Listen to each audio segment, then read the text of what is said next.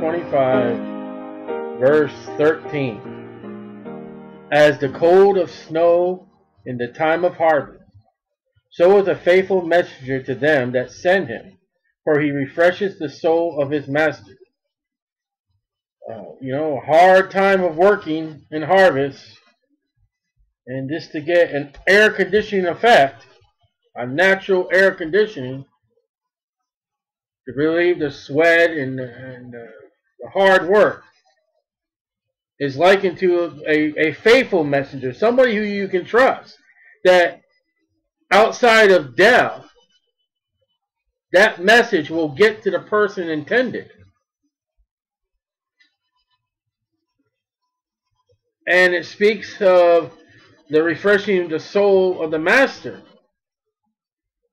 Listen, back before radios all the time, when David and his army, he would send faithful messengers to the troops, back to the kingdom, back to Israel. You needed somebody who had to be faithful. And I'm thinking of, I'm trying to think of, there's a story in the Bible where uh, it had to do with Absalom and Joab. There was a man, a messenger, sent, you know, send me, send me, send me. Solomon's like, no. I mean, not Solomon. Uh, Joab's like, no. I'm not going to send you. Then he, he picks another guy. He says, listen, go tell King David what you saw.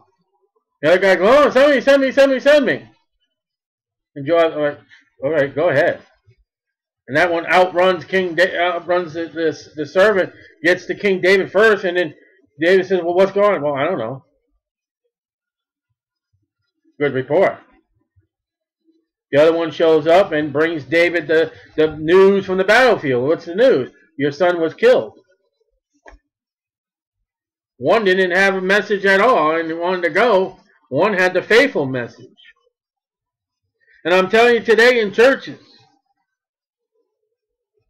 there are no faithful messengers or they're very few. They bring all kinds of lilies and and flowery bumblebee messages, but no hellfire, no brimstone, no smelling of the doors of hell being opened, no condemnation of sin. More and more every day. Churches are falling. And it says, As the cold of snow in the time of harvest, so is a faithful messenger to them that send him. These people that are in the pulpit today are not sent by God.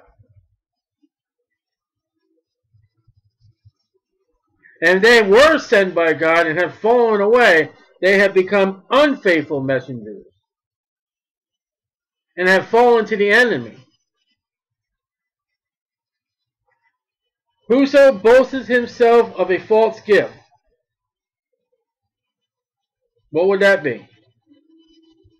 I can speak in tongues. I can heal people. All right?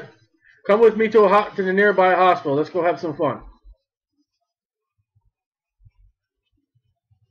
I tell you what. If you can heal people, let's see how long we can sit outside the emergency room and stop them from going inside the emergency room doors and make the hospital go bankrupt and get thrown off the property because we're healing people and, and they won't get no money by taking care of people. You know what I'm saying? Let's get let's buy a police scanner and we'll go to every accident and every ambulance call before the ambulance gets there and, and you can heal them before they get an ambulance bill. See, you can heal them and then have them not get a bill. Why don't you do that? Is like clouds and wind without rain. That's a disappointment. In verse 13, you got the refreshing of a harvest. In verse 14, you got your crops, and wow, here comes clouds, and here comes wind, and the, the, the, the crops wither because there's no rain disappointment. Any, any false gift. Again, that churches proclaim to have. We got 15,000 people saved in a 3,000 people town. Uh, something wrong with the numbers. You know what I mean? By long forbearing, patience. We're out today with holding our streets on the sign. The walk sign kept saying, wait, wait. For one hour, wait. Never told you to go. It told you to wait. You know, that was God speaking to us. We already go. See, we already go all in the world and preach the gospel. Just wait.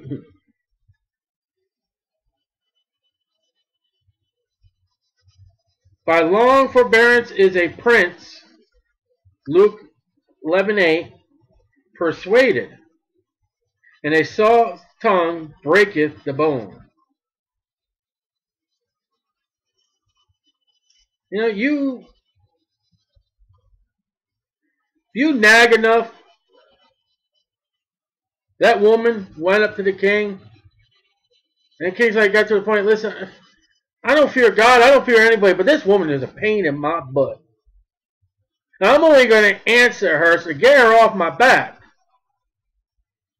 Those two women that, that stood before Solomon about the baby.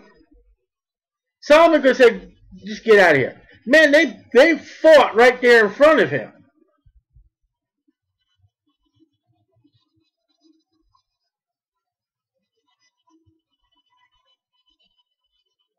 Keep your prayers going until God says stop. Keep on the streets. Keep knocking on doors. If they don't like you at one door, go to the next door. Jesus said, listen, if they don't like you in this city, wipe off the dust off your shoes and go to the next city.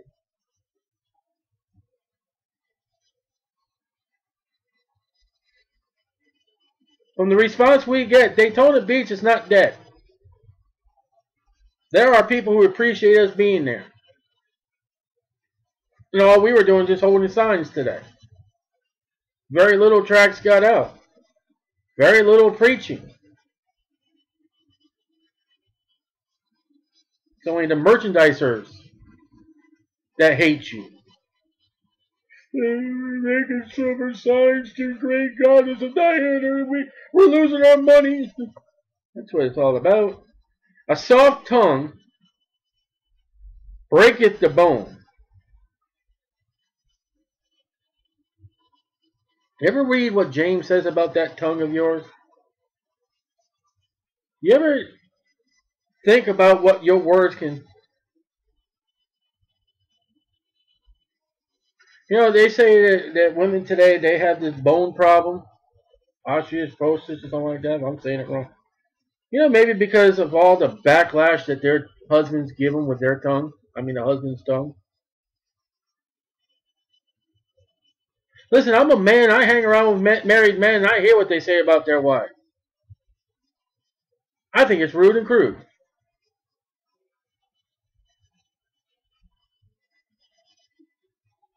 I have seen, heard, and witnessed the tongue against the husband against the wife to her face.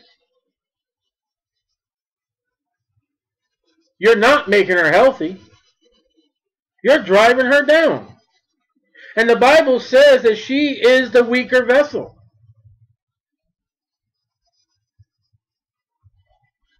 Be careful what you, what you do with your tongue. And the Bible says in, in Matthew chapter 12, every idle word you will give an account. You will have to give an account to God. Hast thou found honey?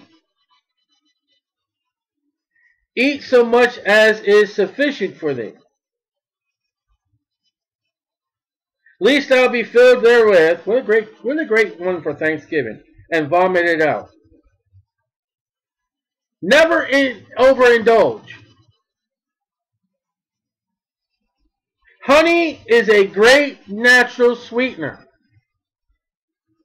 I believe it's three or four places Solomon writes about honey in Proverbs. If you found it, eat it. It's good for you. But man, don't do too much.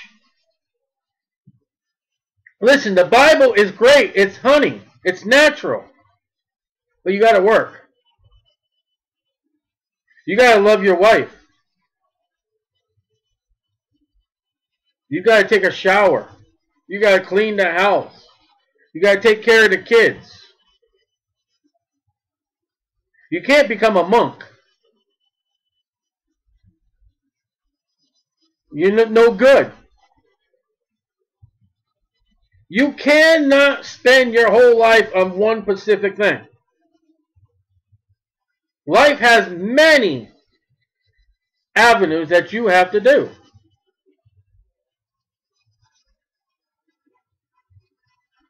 As natural as honey is, don't take too much.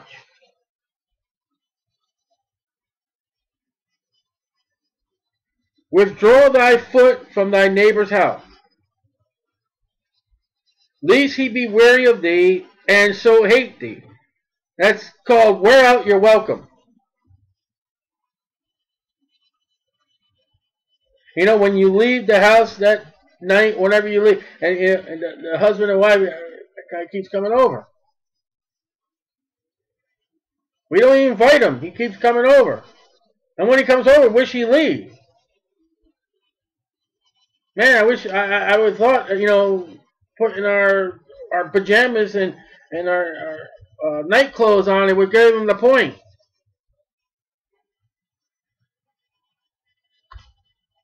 The Bible says you can wear out your welcome. Solomon war, warned you. A man that beareth false witness, Exodus 20 verse 16, against his neighbor is a mall. That's not the shopping. A maul is a splinter tool. A sword. And a sharp arrow. And not three of those things are used for good when you're talking about a person. You don't use a maul on a person. You use it like a kind of axe kind of thing. A sword, when you use on somebody, is not for the good.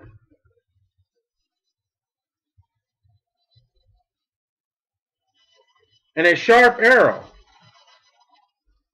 Deadly wounded things. And that's what God compares to through Solomon, the Holy Spirit, you're lying against a neighbor.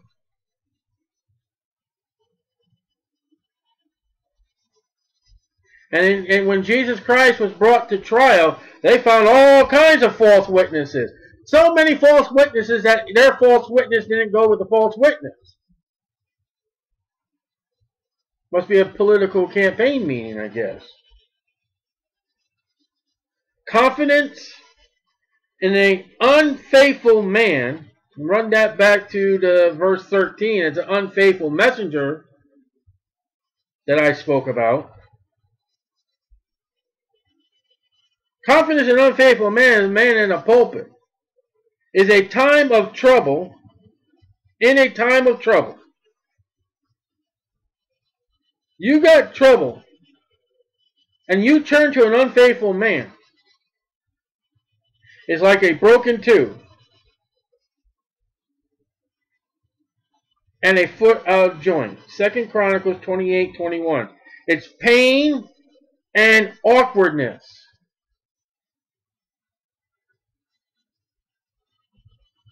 is when you turn around in battle and that person is not there.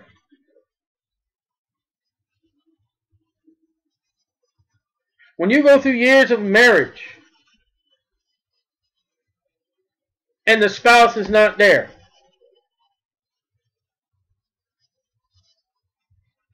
When you grow up as a child and the parent is not there.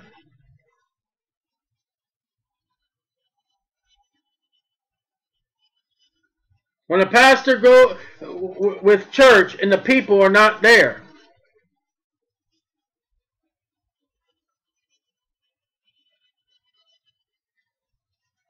You could be a toothache or a limp to somebody.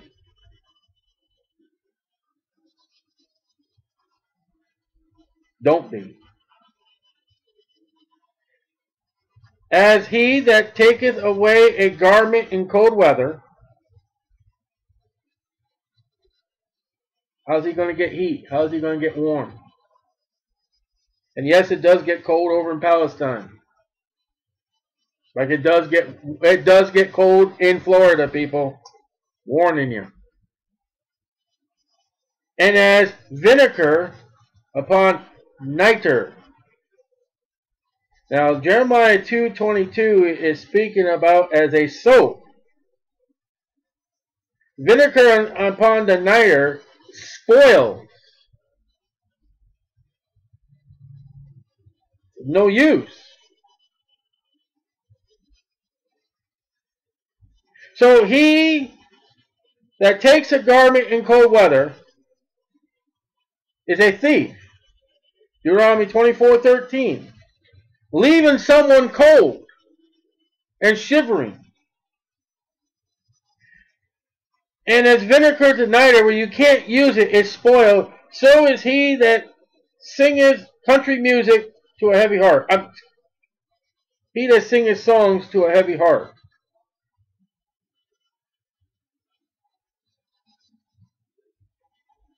Someone who's got a lot of problems in their life. You do not need to get into country western music. You would vast avoid that. You would vast avoid the radio.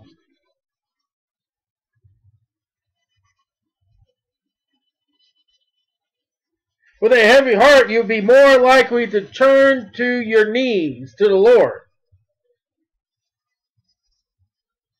And yet, how many bars with their music are the heavy heart and the drunken heart listening to this slop called music and song?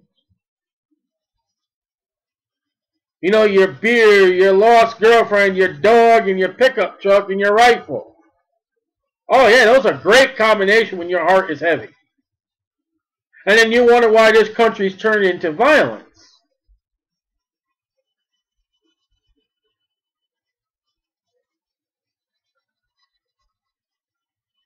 If thy enemy be hungry. We just read this in Romans chapter 12. If thy enemy be hungry, give him bread to eat. Matthew 5:44. If he be thirsty, give him water to drink. 2 Kings 6:18 to 23. Love thy neighbor even if it's he your enemy.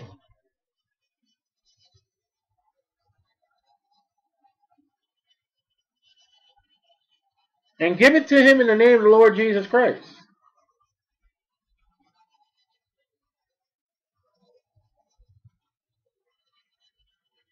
You may do good to him rather than wickedness. You may break down those walls or you may build up stronger walls. But what this verse is telling you and here's the main frame of this verse. You ready? Ready for the philosophical lesson of today? Do right. Isn't it really so hard?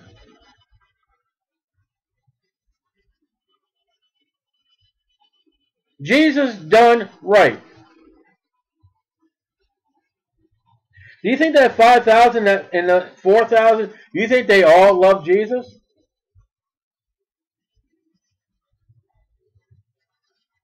Man, no sooner he feeds the 5,000, he goes telling about the, the bread of heaven, and he talks about, man, man, 666, he had people walk away from him.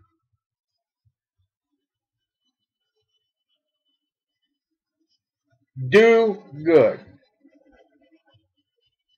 Why? For thou shalt heap coals of fire upon his head. I said, yeah, I'm gonna I'm gonna burn his head. No, you, that's not what it means. You're to make him a hothead. All they that live godly in Christ Jesus shall suffer persecution. You may make it worse. You may just throw alcohol on your burning uh, wound already.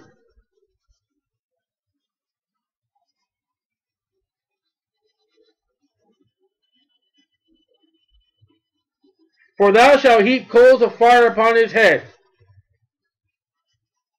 You may get him angrier. And the Lord shall reward thee. How about that?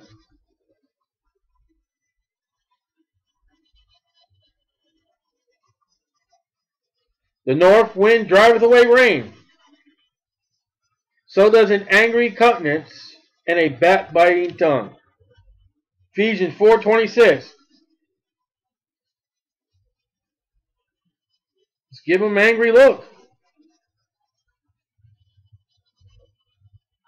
When somebody backbites you the tongue, look at him like, mm. I mean, have you ever done anything guilty? And when you see that person, you, you just get that guilt. And you wonder if they know what you did. Well, if somebody's backbiting your tongue, you just, you don't even, give them a look, an angry look. Or a saddened look, like I'm surprised you would do that about. You don't even need to say a word. And listen, if God is working on it, the conscience will kick in.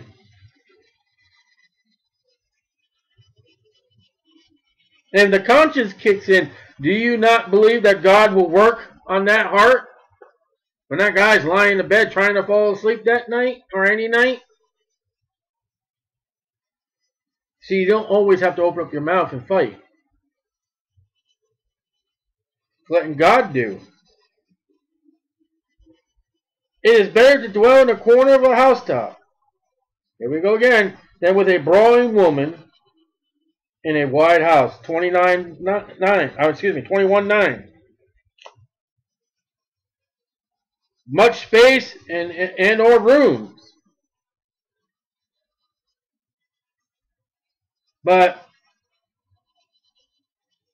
her brawling will go through the walls.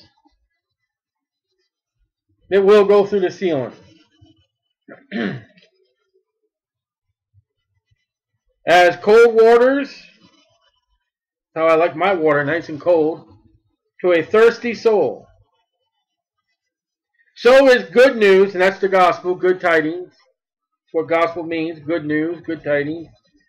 From a far country. John 7:28, John 4:10, Revelation 7:17.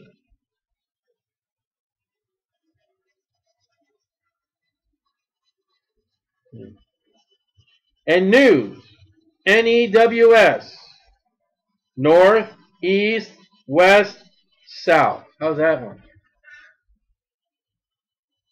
Take the letters of news and go north, east, west, and south.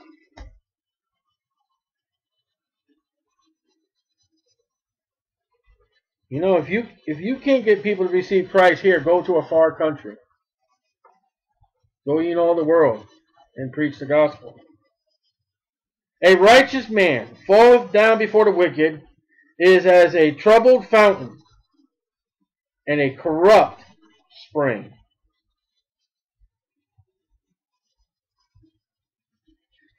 Going to be a lot of righteous people are going to fall down in front of the wicked when it comes to when they get their credit card bills.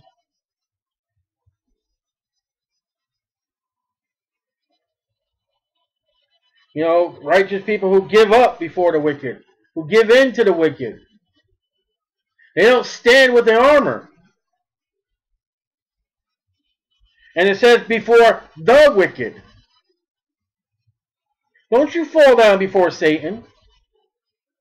Don't you give up to Satan. You are a troubled fountain and a corrupt spring. You have taken the water of life that's Jesus Christ and corrupted it. That's the churches around America growing to the world.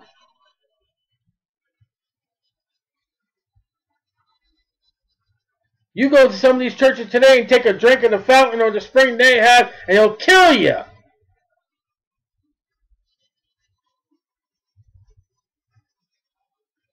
And you'll wake up in hell thinking that you were saved. It is not good to eat much honey. 1 Corinthians 11, 7. So for men to search their own glory is not good. Revelation 3.16. Don't go out and have people praise you. Don't do it for the praise of man. You're foolish. It's not natural.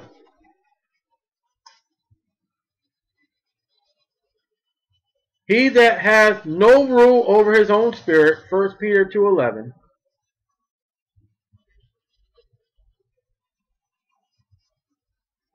He that has no rule over his own spirit. They can't put the bottle down. They keep lighting that cigarette. They keep watching those things they weren't supposed to be watching. They keep reading things they're not supposed to read. They keep doing things they're not supposed to be doing. Say no to sin.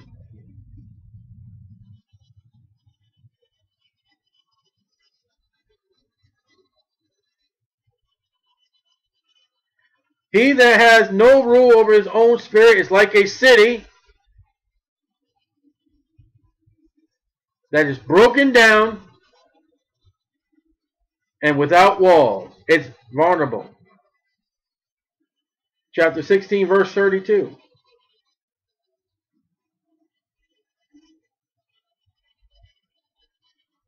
Here you are. But Satan and the enemy can come right on in. You know why America has trouble with immigration? She never built any walls. America is an unwalled country. When you have a wall around your city or around you, there's only a certain amount of passages that can come into your life or your city, and the only way they can come into your city, right, is through those passages. You can see somebody coming up and over your wall like they're not supposed to be. But if you ain't got no walls, they can just come right on in. And I'm trying to think of John's John Bunyan. You need to read Holy War. It completely describes this verse. The ear gate, the eye gate, or seeing gate. I forget what you how the enemy let Satan in. Then once Satan got in, Satan tried to keep God and Jesus Christ out. You need to read Holy War by John Bunyan with this verse.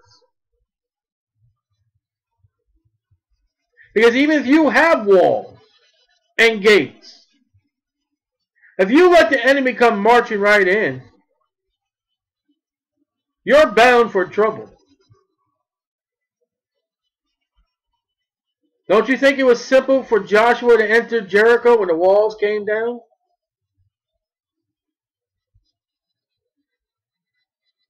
Abimelech goes into a city. He climbs his tower. The woman throws a millstone down and cracks his head open.